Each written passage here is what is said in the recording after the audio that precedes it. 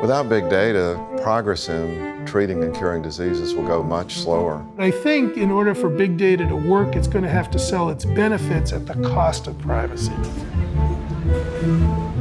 Everyone around us standing here today has some sort of device, something on them that has the power to collect data, ranging from your heart rate from your fitness tracker to your DNA from an in-home genetic test to even the zip code where you live or the emissions data of the environment within which you reside. The data are out there. The data will develop a learning healthcare system to be able to better predict how people might interact with diseases, with the healthcare system, to really be able to maximize the benefits and minimize the risks for people.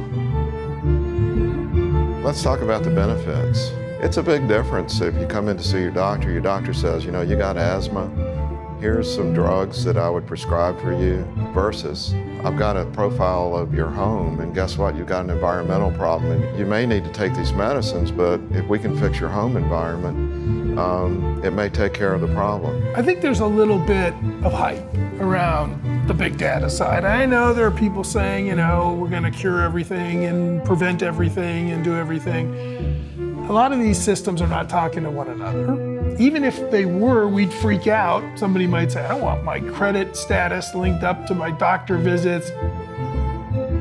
We have to work together across industry with all the different stakeholders in the healthcare system to build this learning healthcare system and make it meaningful. We got to work this out. We can't go back to an era where we're all hiding out and hoping no one finds out who we are. We are going into an era of big data. There is no doubt about that. It, this is a fight about when and how fast, and are you going to put up some handrails or you're you just going to stumble down the stairs? We're at a critical juncture right now. We're really at a place where the data is there. We have the data, we can use it, but we haven't explored all the different facets of what it means to be implementing big data for healthcare, how to govern it, how to protect ourselves, and all the exciting possibilities that come with it.